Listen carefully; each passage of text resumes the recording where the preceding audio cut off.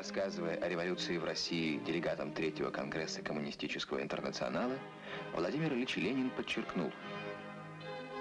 Первым нашим шагом было создание настоящей коммунистической партии.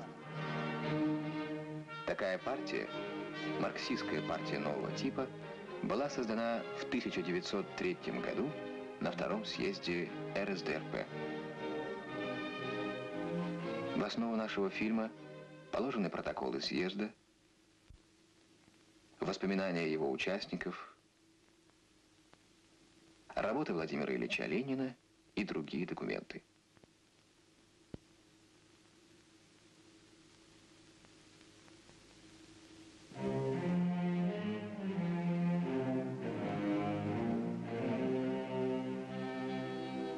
Конец XIX – начало XX века.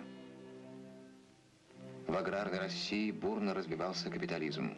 Явственнее проступали черты империализма.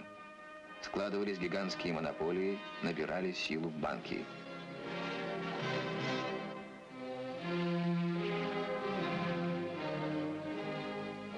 Изменялась социальная структура многонациональной России.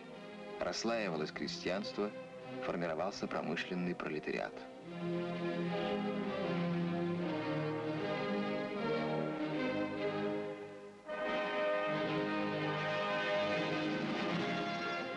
Тяжелые условия труда, беспросветная нищета, политическое бесправие вызывали массовый протест.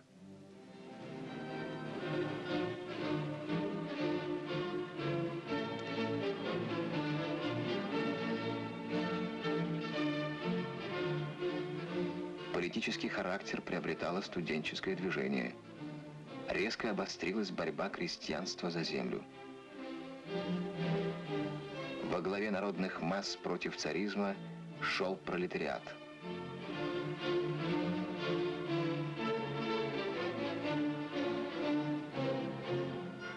В 90-х годах 19-го столетия центр мирового революционного движения перемещался в Россию.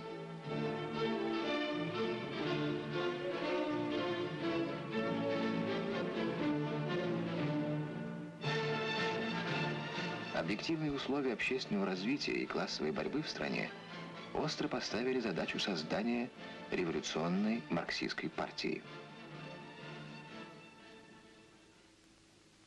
Маркс и Энгельс писали, для того, чтобы пролетариат оказался достаточно сильным и мог победить, необходимо, чтобы он образовал особую партию, сознающую себя как классовую партию. О создании такой партии думал Ленин. Зародышем такой партии был основан Владимиром Ильичем в 1895 году Петербургский союз борьбы за освобождение рабочего класса. В 1898 году из далекой ссылки Ленин приветствовал первый съезд РСДРП, собравшийся в Минске. Но фактически тогда партия создана не была. В ссылке Владимир Ильич разработал план создания революционной партии. Объединение революционных сил он предлагал начать создание нелегальной общерусской политической газеты. Издание такой газеты было налажено в Мюнхене. В ее редакцию вошли Ленин, Плеханов, Мартов, Аксельрод, Засулич, Потрисов. Секретарем редакции после приезда в Мюнхен стала Крупская. В декабре 1900 года в Лейпциге был отпечатан первый номер «Искры». В передовой статье Владимир Ильич определил главную задачу газеты. Она состояла в создании марксистской партии, призванной соединить социализм с рабочим движением. В другой статье Ленин обосновал и углубил план построения партии при помощи газеты. Вокруг нее складывается крепкая организация профессиональных революционеров, ядро партии. Они распространяют искру, пишут в нее корреспонденции. С их помощью газета становится коллективным пропагандистом, агитатором и коллективным организатором.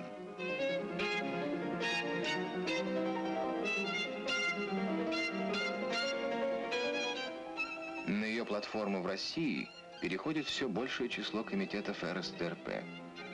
Создаются условия для созыва съезда партии. Главным препятствием на пути создания партии являлся экономизм, разновидность международного ревизионизма в российском социал-демократическом движении. В заявлении редакции «Искры» говорилось, прежде чем объединяться, и для того, чтобы объединиться, мы должны сначала решительно и определенно размежеваться – Выдающуюся роль в идейном разгроме экономизма сыграла вышедшая в марте 1902 года книга Ленина «Что делать?».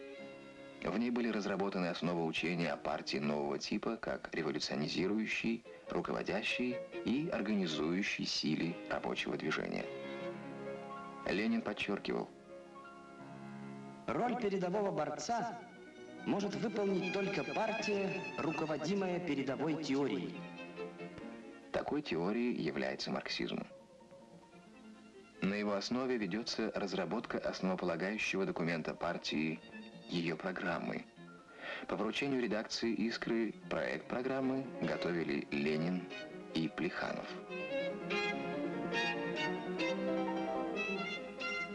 Предложенный Плехановым проект Владимир Ильич подверг резкой критике. Их полемика – отражала различное понимание движущих сил назревающей революции, роли пролетариата в ее подготовке.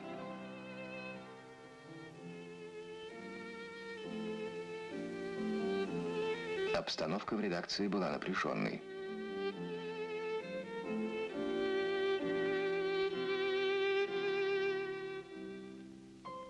Созданный в результате острой борьбы проект программы обсуждался в социал-демократических организациях России.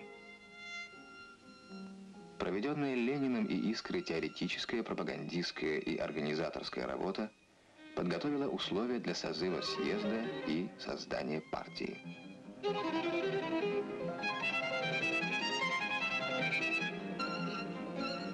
На второй съезд приглашены были те организации, которые не менее года вели активную революционную работу.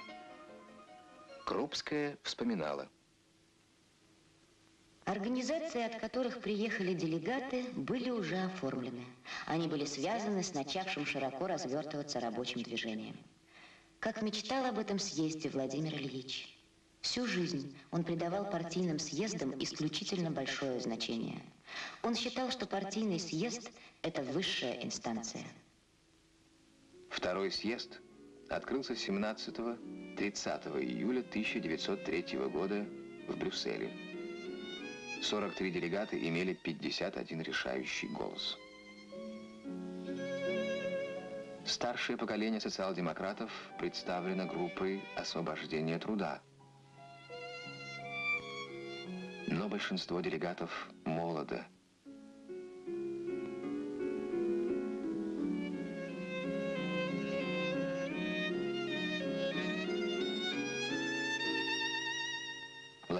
Ильичу в то время исполнилось 33 года. Открыл съезд ветеран русской социал-демократии Георгий Валентинович Плеханов. Избрано бюро съезда. Ленин, Плеханов, Красиков.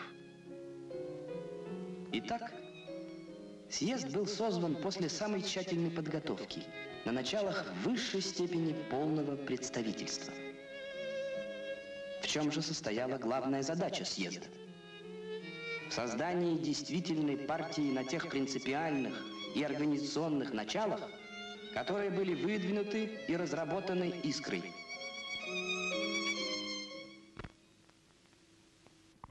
Полнота представительства на съезде обеспечила присутствие на нем и таких организаций, которые вели решительную борьбу с «Искрой», и таких, которые, признавая искру руководящим органом на словах, на деле преследовали свои особые планы и отличались неустойчивостью в принципиальном отношении.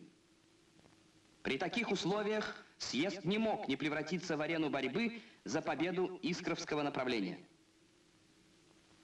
Первым вопросом, который вызвал дебаты, начинающие обнаруживать различия оттенков, был вопрос о постановке на первое место порядке дня съезда пункта «Положение бунда в партии».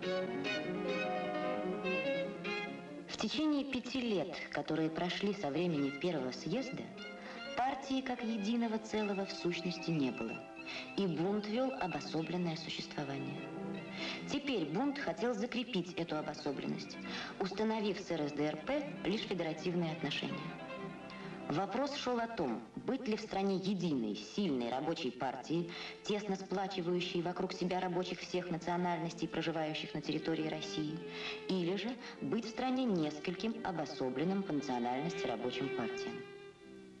Редакция «Искры» стояла за интернациональное сплочение рабочего класса. Бунт за национальную обособленность. По вопросу о бунде и редакция «Искры», и делегаты с мест выступали очень дружно. Вопрос был решен в духе «Искры» громадным большинством. Важнейшее дело съезда – принятие программы. Каждый пункт обсуждался и голосовался отдельно. Оппортунисты выступали против ленинского положения о диктатуре пролетариата, говоря о ее несовместимости с так называемой чистой демократией. Самый главный вопрос всей пролетарской классовой борьбы, вопрос о диктатуре пролетариата, съезд решил по-марксистски. Важная в русских условиях аграрная часть программы, автором которой был Ленин, ставила задачи борьбы с остатками крепостничества, создания союза рабочих и крестьян в предстоящей революции.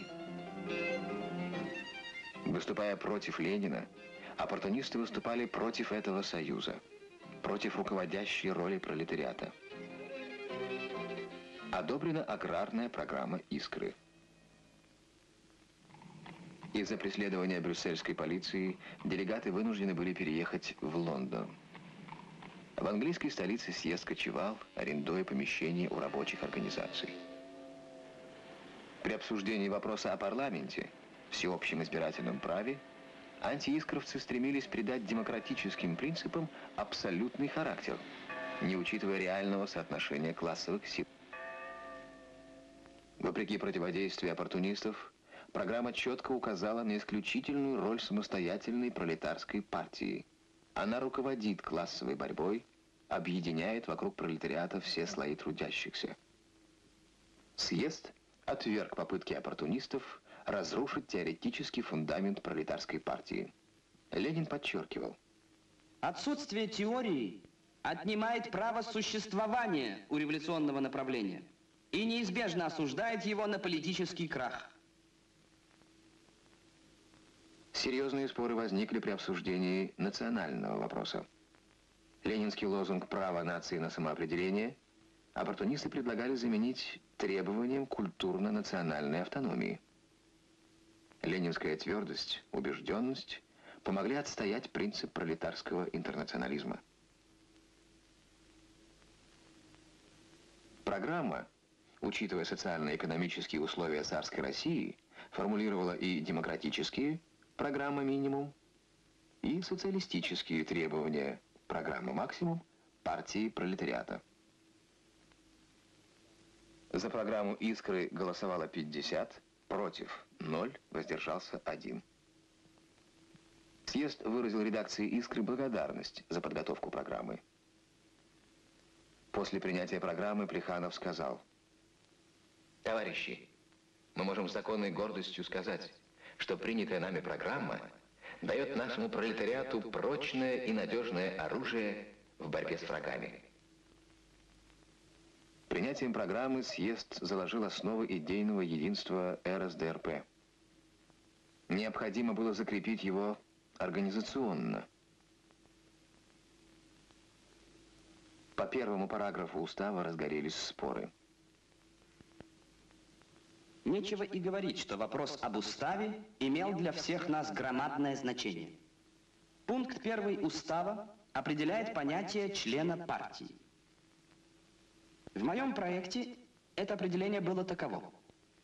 Членом Российской социал-демократической рабочей партии считается всякий, признающий ее программу и поддерживающий партию как материальными средствами, так и личным участием в одной из партийных организаций. Мартов же вместо подчеркнутых слов предлагал сказать «работай под контролем и руководством одной из партийных организаций». За мою формулировку стал Плеханов, за мартовскую – остальные члены редакции. Мы доказывали, что необходимо сузить понятие члена партии для отделения работающих от болтающих, для устранения организационного хаоса. Мартов стоял за расширение партии и говорил о широком классовом движении, требующем широкой расплывчатой организации.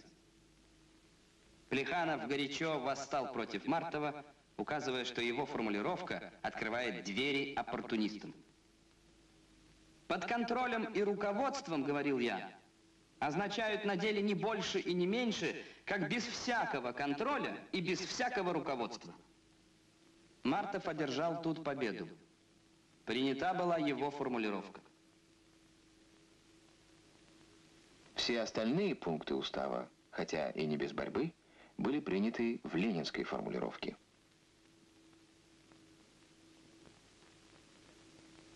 В соответствии с утвержденным уставом, высший орган партии – съезд, который созывается не реже одного раза в два года.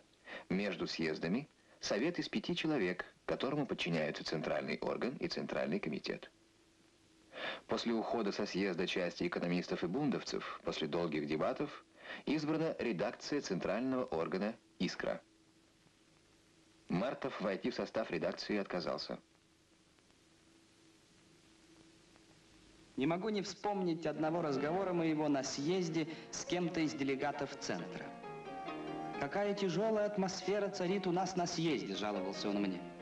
«Это ожесточенная борьба, это агитация друг против друга, это резкая полемика, это не товарищеское отношение». «Какая прекрасная вещь наш съезд», – отвечал я ему. «Открытая, свободная борьба. Мнения высказаны, оттенки обрисовались, группы наметились». Руки подняты, решение принято, этап пройден. Вперед. Вот это я понимаю. Это жизнь. Съезд избрал Центральный комитет большинства и закрепил победу ленинского большинства над меньшинством. Второй съезд РСДРП завершил процесс объединения марксистских организаций России – на идейных, политических и организационных принципах, разработанных Лениным. Большевизм существует как течение политической мысли и как политическая партия с 1903 года. Образование большевистской партии явилось закономерным результатом общественного развития, поворотным пунктом борьбы российского и международного пролетариата.